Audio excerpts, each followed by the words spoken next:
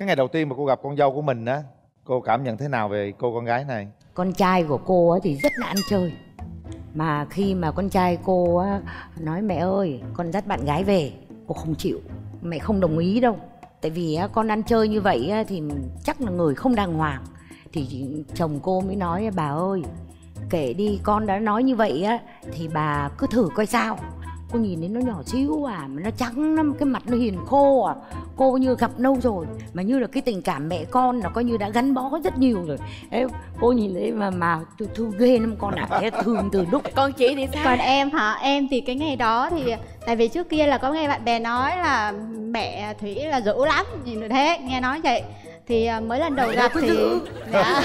nhìn mẹ mới lần đầu mà. gặp thì mẹ suy tin xanh điệu lắm. Tuy mẹ cũng đã lớn tuổi nhưng mà nhìn mẹ rất là thời trang nhưng mà sau nó về làm dâu thì ấn tượng như ngày đầu nữa không? Tính ra bây giờ là 9 năm 3 tháng. Chưa bao giờ hai mẹ con có một cái nhăn mặt với nhau. Cô thì rất là cưng con không cho con làm cái gì hết. Ơi mẹ dạy con ờ, nấu ăn mà thôi một mình mẹ nấu được rồi. Tại vì cô nói thực sự cô nấu ăn cũng rất ngon. Thành ra là coi như cô không muốn cô cưng dâu còn cưng còn hơn con gái mình nữa.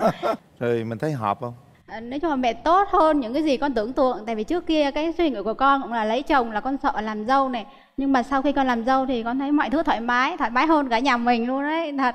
Chăm cho con này từng cái cách ăn mặc ở nhà thế nào này từ cái cái đi ra đường ra sao này đôi giày này có đẹp hay không này cái bộ quần áo này có hợp với đôi giày này không này rồi có như là à, đầu tóc là phải như thế nào này. Thấy quần áo này kia tất từ cái hồi mà lấy về này nọ thì ngày xưa em cũng ở quê lên đấy thì mẹ thì xì tin mà em mà mặc đồ mà kín đáo quá hay là như thế nào là mẹ cứ bảo là ờ, phải sành điệu lên sexy lên vậy đó. Dạ.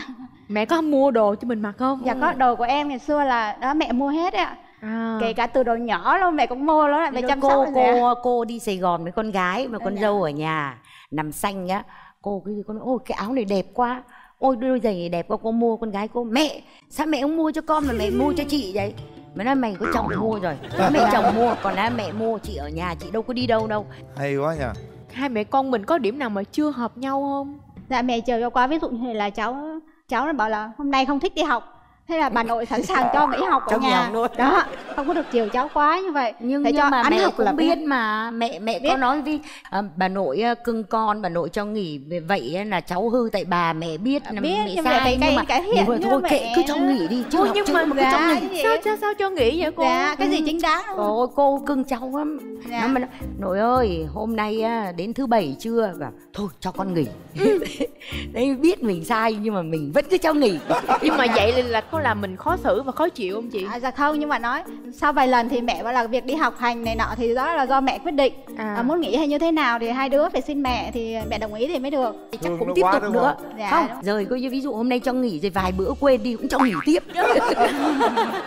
mẹ chiều lắm đòi cái gì mẹ cũng cho đó em không thích là ví dụ như vừa ăn cơm vừa xem điện thoại là không có được nhưng Đó. mà nhưng mà mẹ thì đút cho em Mẹ- ăn thì nhanh hơn rồi coi như là mình mình mình dọn dẹp sớm hơn nữa tại thì hai vợ chồng em đã ly dị rồi ạ. À, ly dị được à, tính ra nếu mà ly thân thì cũng được hơn gần 2 năm. Hai mẹ con coi như bốn bà cháu là coi như ở với nhau. Vẫn là mình vẫn ở với con dâu vậy. Dạ vâng em thì ly dị rồi nhưng mà tại vì em thương mẹ lắm.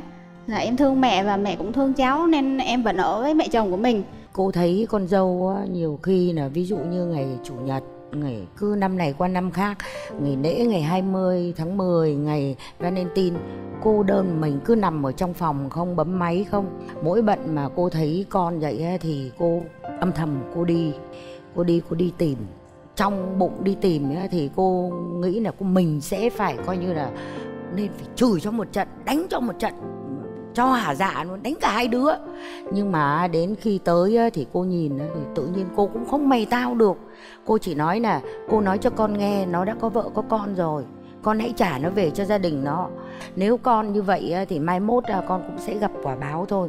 Thế cô nói vậy thì con bé đó nó cũng hứa là nó bỏ. Nó cũng khăn gói nó đi. Thì mỗi một bận như vậy cô đâu có nói được cho con dâu nghe đâu. Cô đổ bệnh. Cô nằm có khi cô nằm liệt giường cả tuần 10 ngày mà cô yếu lắm sức cô không có sức khỏe. Đến khi cứ mỗi bận như vậy thì cũng phải đến năm sáu bận rồi. Ngày đó cũng gần cuối năm rồi con cô nói mẹ ơi con biết hết tất cả rồi mẹ đừng có giấu con. Nhưng mà không biết nó có biết thiệt hay không nhưng mà đã hỏi cô tới đó là coi như cô này cô cái tính là coi như hỏi bất chợt là cô phải khai hết. Dạ tại vì Bắt chồng em khai. dạ chồng em có cái tính là trăng hoa lắm.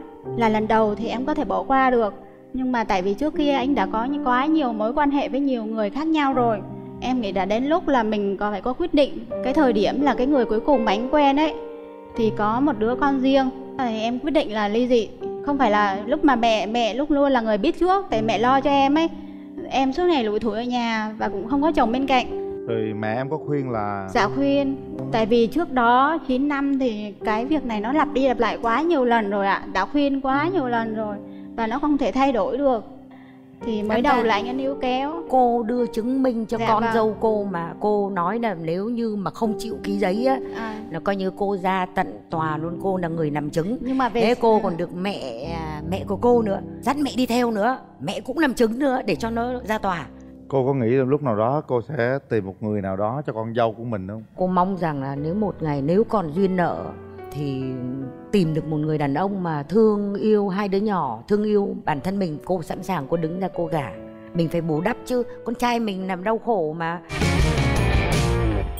Cái ngày đó ngày mùng 8 tháng 3 cô thấy bình thường không bao giờ nó trùm mền con ạ. Cô thấy nằm co do trùm mền ấy cô đang nấu cơm cô mở cái cửa phòng ra cô thấy. Cô nhìn cô nhìn xong cô chạy ra ngoài cô hòa đến cô khóc. Cô khóc xong uh, chồng cô mới gọi điện cho con gái nói uh, uh, con gái cô nó mới gọi lại cho cô. Uh, cho cô nghe đưa cho cô nghe thì mới nói mẹ ơi uh, mẹ đừng có buồn nữa. Uh, chị không còn buồn nữa đâu chị vô tư lắm bây giờ chị vô tư lắm. Mẹ thấy không? Mẹ thôi thôi mẹ đừng có buồn. Thấy con nói vậy cô mới mở cửa phòng ra. Cô vào cô thấy nó nằm nó gáy gáy khò khò con ạ cô tưởng ấy thế từ lúc à, đó là, là, là đang ngủ chứ phải Đang đang khóc đâu Dạ. mà Trời cô tưởng nó khóc cô làm Cô- cũng muốn khóc luôn vậy đó cô cô tưởng đấy cô chạy ra cô khóc mà cô hay hòa khóc lắm thế từ lúc đó là coi như là cô biết là con dâu đừng vậy mà cô tìm hiểu xong nhiều thị nhiều bữa cơm cô hỏi con ơi mẹ hỏi thiệt con con nói cho mẹ yên tâm đi Dạ. con còn buồn không thì nói mẹ ơi con vô tư lắm bây giờ con hết buồn rồi mẹ nhưng mà may mắn một điều á là em có bà Dạ mẹ vâng, chồng thì đó. rất là tuyệt vời Dạ. luôn sẵn sàng chia sẻ thậm chí đau khổ hơn là các dạ, em vâng, nữa. vâng. với những cái tình cảm đó thì nó có thể giúp em trong cái giai đoạn khó khăn này. Hôm nay để xem à, có thư của à, gia đình đây gửi cho em đây. Có. À, hai lá thư luôn. Em tên là Giang Huy em là em chồng của chị Tình. Em nhớ lần đầu tiên gặp chị lúc đó em chỉ mới 14 tuổi nên chưa thật sự cởi mở với chị. Nhưng thời gian trôi qua một năm, hai năm, rồi ba năm, rồi dần dần tình cảm giữa em và chị ngày càng trở nên thân thiết hơn. Và rồi những năm tiếp theo, chị em mình đi đâu cũng có nhau. Lúc này em đã coi chị như một người chị ruột của mình rồi. Anh hai còn ham chơi, mà cưới vợ cái gì? Không ngờ thấy chị mẹ đã thương, dần dần yêu quý chịu hơn. Không khác gì đứa con mẹ đứt ruột sinh ra. Chị nhớ có lần chị té xe mà không liên lạc được với chị không? Cả nhà nhốn nháo, mẹ thì khóc lên khóc xuống, la hét ầm trời. Sợ chị bị gì? Tuy đã ly hôn, nhưng chị vẫn còn sống chung với gia đình mình. Mong rằng dù có chuyện gì xảy ra đi nữa, thì tình cảm giữa chị em mình và mẹ sẽ không bao giờ thay đổi chị nhé. Em vẫn là đứa em trai mà chị thương yêu như ngày nào. Chắc là chị cũng bất ngờ vì đứa em này ít khi nói nhưng là những lời sến súa nay lại ghi một tràng dài trên đây đúng không? Nhiều lúc thấy chị khóc, cuộc sống vợ chồng chị quá áp lực mà em ghen ghét, lây người làm chị đau. Nhất là mẹ đã coi chị là con trong nhà lâu rồi, chăm chị còn hơn em bé. Đi đâu một chút xíu là cứ gọi cho em sao chị lâu về, sợ có chuyện gì. Nhiều lúc á, em cũng chạnh lòng. Sao mẹ không thương em nhiều như chị vậy? Nhưng bây giờ em hiểu rồi.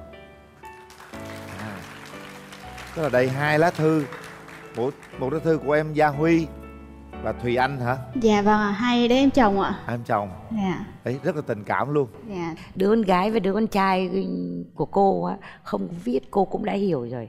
Tại vì á, chị em nó đi đâu cũng có nhau hết. Uống một ly cà phê hoặc là coi như là ăn kem hoặc là coi như là đi mua một cái món đồ nhỏ nào đó cũng phải có nhau hết mẹ có con dâu cái mẹ quên là con gái à. Dạ. Đó này mẹ kể tôi mua gì mua cũng mua Dạ. cho chị dâu hết trơn á. Thôi đây cũng là một cái bù đắp. Sau này thì người ta sẽ gặp rất nhiều may mắn và hạnh phúc. À, bình yên sẽ mãi mãi bên em ha. Mẹ chồng có muốn con dâu điều gì hay không?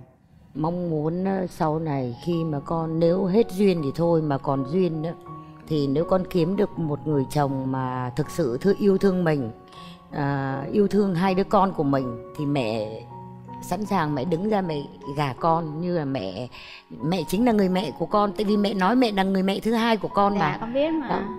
cô muốn nhắn nhủ với con trai của cô được không ạ? Được cô Dạ, cứ được nói ạ. đi. Cô muốn nhắn nhủ với con trai của cô cô rất là thương yêu con. Dù con như vậy cô cũng vẫn thương yêu con là bây giờ hãy chín chắn tu tỉnh. Tại vì cuộc vui nào thì cũng cũng tàn. Mong con là quay đầu về xã- làm ăn tu trí làm ăn để về sau lo cho các con và lo cho gia đình. Ôm chặt mẹ chồng của mình đi. Nói gì với mẹ đi em? Dạ con yêu mẹ nhiều lắm. Dạ cảm ơn. Dạ. tuyệt vời. Giá như à, vợ chồng hạnh phúc nữa thì đúng là nó thật sự là hoàn thiện ha. Một kỷ niệm gửi tặng gia đình con cũng xin được chúc sức khỏe cả nhà mình và mong rằng niềm vui sẽ đến với cả nhà mình sau này cô ha Rồi, cô Dạ chương ơn. trình cũng còn phần quà dành tặng cho cô đó là một chiếc Smart TV 32 inch trị giá 4 triệu 690 ngàn đồng đến từ thương hiệu Akino của công ty cổ phần Phúc Ngọc Anh sản phẩm công nghệ cho gia đình Việt và đây là bộ mỹ phẩm chăm sóc da X2 gồm kem dưỡng trắng da mặt, kem dưỡng trắng da toàn thân, sữa rửa mặt do công ty mỹ phẩm Đăng Dương sản xuất và phân phối trên toàn quốc.